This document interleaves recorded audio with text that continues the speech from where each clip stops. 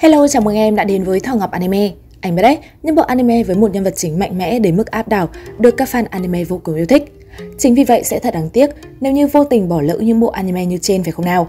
Nếu bạn đang không có gì để xem hoặc là đang dày công tìm kiếm những bộ anime mới thì hôm nay hãy cùng với Thảo Ngọc Anime đến ngay với top 10 anime có nhân vật chính vô cùng mạnh mẽ mà chắc chắn bạn đã bỏ lỡ nhé. Và sau khi xem xong top 10 anime bên dưới thì đừng quên để lại một like và bình luận xem liệu bộ anime nào đã để lại cho bạn nhiều ấn tượng nhất cho mình và mọi người cùng biết nhé. Vị trí số 10, Kuro Mukuro, thể loại hành động viễn tưởng mecha. Vào một buổi bình minh của thế kỷ 21, Viện Nghiên cứu Kurobe của Liên Hợp Quốc được thành lập tại Nhật Bản để điều tra một hiện vật cổ, được phát hiện trong quá trình xây dựng đập Kurobe. Các nhà khoa học từ khắp nơi trên thế giới đã tập trung tại cơ sở để nghiên cứu vật thể, trong khi con cái của họ tận hưởng cuộc sống hàng ngày của mình khi tham dự trường trung học phổ thông quốc tế MT Tate.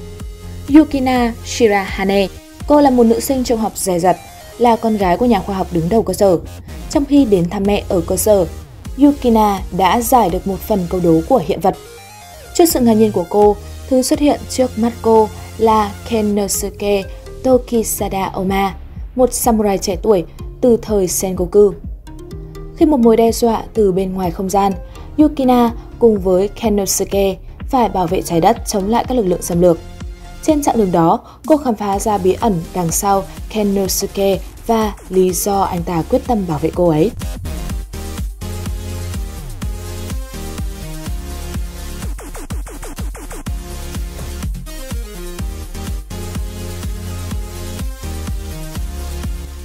Số 9.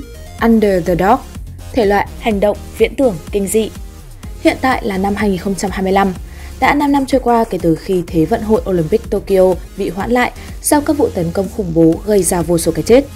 Một trường quốc tế do Liên Hợp Quốc điều hành hiện nằm trong địa điểm cũ của Olympic ở rìa vịnh Tokyo. Bảy thiếu niên có khả năng đặc biệt được gọi là Flowers, nằm trong số các học sinh. Danh tính sinh viên của họ chỉ là vỏ bọc cho danh tính thực sự Họ là thành viên của một tổ chức tình báo do Liên Hợp Quốc điều hành. Mục tiêu của họ là ám sát những thanh niên khác có cùng khả năng. Nhưng Flowers không có lựa chọn khác ngoài hoàn thành nhiệm vụ của họ mà không thất bại. Tổ chức của họ đã bắt người nhà của họ làm con tin để bảo đảm điều này. Đối với các Flowers, thất bại có nghĩa là cái chết, không chỉ cho bản thân mình mà còn những người thân yêu của họ. Đây là câu chuyện về cuộc đấu tranh của họ chống lại số phận nghiệt ngã và về bản chất con người để tìm kiếm hy vọng, dù viễn cảnh ảm đạm đến đâu đi nữa.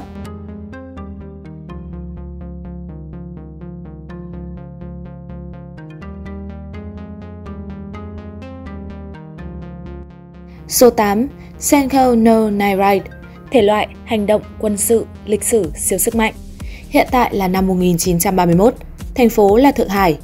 10 năm trước khi Mỹ bước vào Thế chiến thứ hai, những chiếc răng của loài Hydra được trồng bởi cuộc xung đột toàn cầu lớn đầu tiên bắt đầu nảy mầm. Ấp ủ như nhện, chúng dệt nên một mạng lưới phức tạp gồm những âm mưu được định sẵn là chắc chắn sẽ lôi kéo toàn bộ quốc gia đến bờ vực diệt vong. Bị mắc kẹt ở trung tâm của những mạng này, cố gắng tìm cách tách dối trá ra khỏi sự thật là Sakurai Kikan, một cơ quan tình báo cực kỳ bí mật được biên chế bởi những cá nhân cực kỳ tài năng với khả năng vượt xa những người bình thường khác. Nhiệm vụ của họ ngăn chặn những âm mưu đen tối nhất và loại bỏ những mối đe dọa lớn nhất. Nhưng trong một thành phố được xây dựng dựa trên những âm mưu, liệu một đội gồm các nhà thấu thị, ngoại cảm và siêu năng lực ra có thể chống lại thế lực tối thượng của vận mệnh hay không?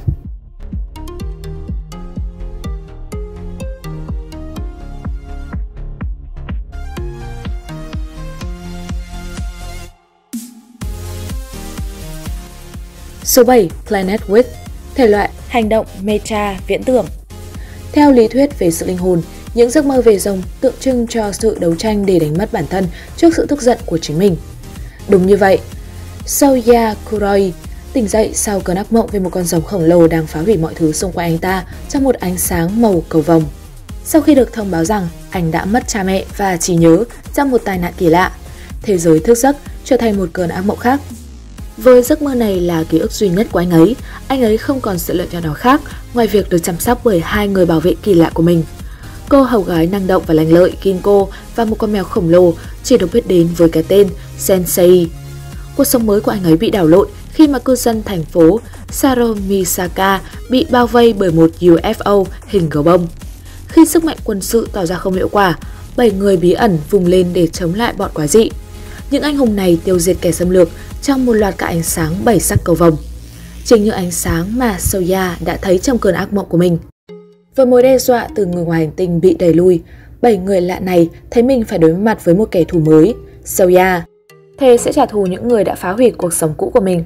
Anh ta bắt đầu cuộc thập tự chinh của mình chống lại những người anh hùng này và bị cuốn vào một cuộc đấu tranh giữa các thiên hà.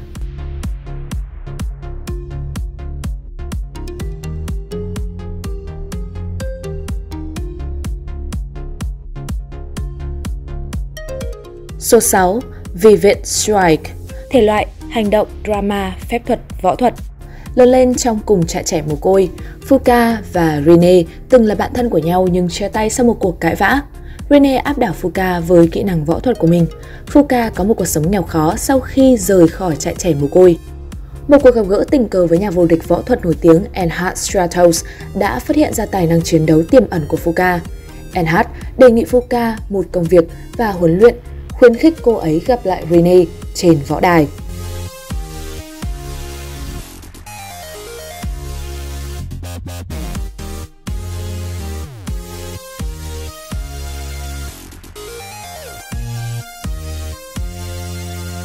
Số 5. Level E Thể loại viễn tưởng, comedy, shonen Ngày nay, hàng trăm loài ngoài trái đất đi bộ đến trái đất. Một số theo chủ nghĩa hòa bình, nhưng người khác lại bạo lực. Một số ở đây với mục đích nghiên cứu, số khác là tội phạm chuyên nghiệp. Tuy nhiên, con người không biết họ đang ở đây. Giờ đây, một người ngoài hành tinh nữa đã đến trái đất, một trong những thiên tài hàng đầu của vũ trụ với tính cách có thể thu hút mọi rắc rối.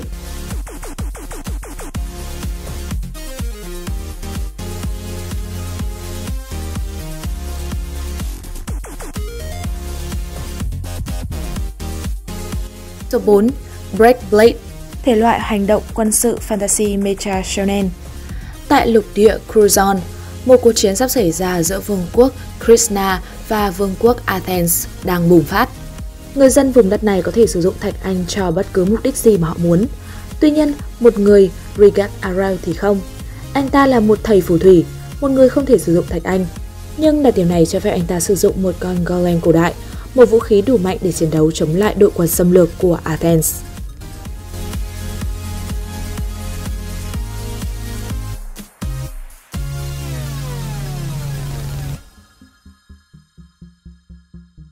Số 3.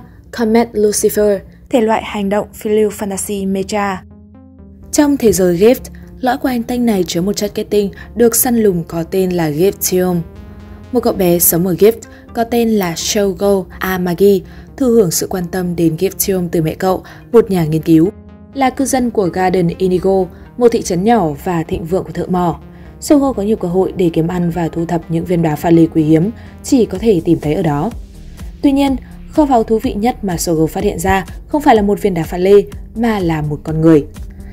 Sau khi bị kéo vào cuộc cãi vã ở trường học, cậu ta lao vào hàng sâu của một khu mỏ cũ. Ở đó, trong vực sâu thăm thẳm của lòng đất, Felia, một cô gái bí ẩn với đôi mắt đỏ và mái tóc xanh xuất hiện từ một viên đá pha lê lớn. Thông qua cuộc gặp gỡ đầu tiên kỳ lạ này, tình bạn được hình thành giữa Felia và Sogo. Nhưng Felia đang bị theo đuổi bởi một tổ chức bí mật nhằm sử dụng sức mạnh của cô ấy vì lợi ích của riêng họ. Và Sogo, bạn bè của anh ấy, phải giúp cô ấy, đồng thời khám phá ra bản chất thực sự của cô gái này từ viên pha lê.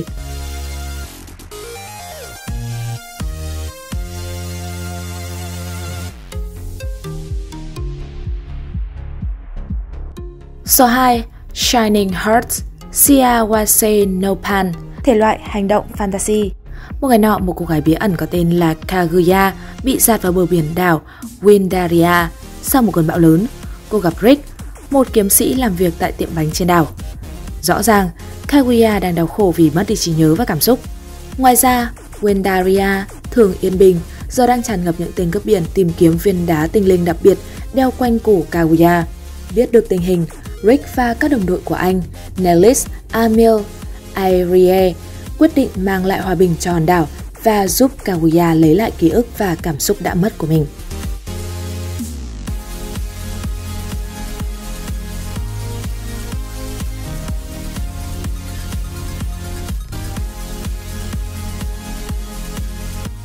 Số 1.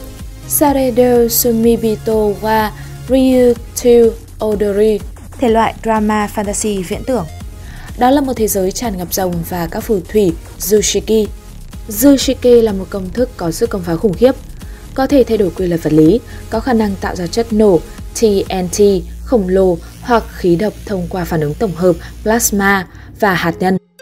Một phù thủy kém may mắn có tên là Gaius gia nhập lực lượng với học viên Zushiki xinh đẹp nhưng độc ác Gigina với tư cách là những người thợ săn tiền thưởng truy đuổi rồng. Một ngày nọ, họ nhận được một yêu cầu kỳ quặc làm nhân viên bảo vệ sau một lễ hội lớn do Maldin, người cai trị của vương quốc của họ đưa ra. Sau đó, một vụ giết người hàng loạt bí ẩn của các phù thủy Zushiki bắt đầu.